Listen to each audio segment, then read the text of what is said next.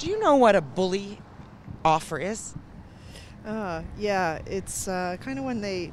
Mm, no, I don't. It's like, here, this is what I'm offering, and that's it. I don't know what that is. No, sorry. When you're bidding on a house and your offer is like over the top, you're just trying to bully every, everybody else out. Bully. It's an unpleasant term that's usually reserved for the schoolyard. But when it comes to real estate, bully is increasingly the way deals get done.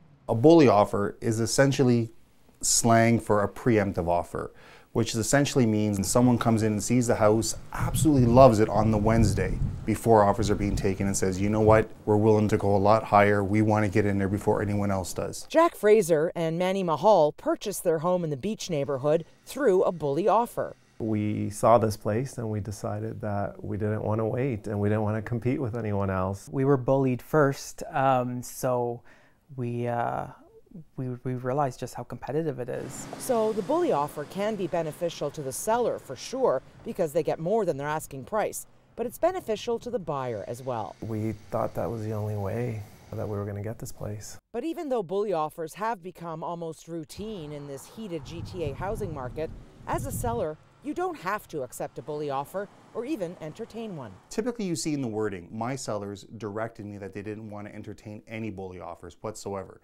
So I had in the bottom marks, it said, seller will not entertain any preemptive offers.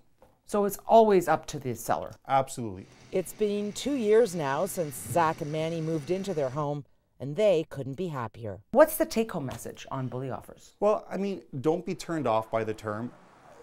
Bringing in a bully offer does not make you a bully.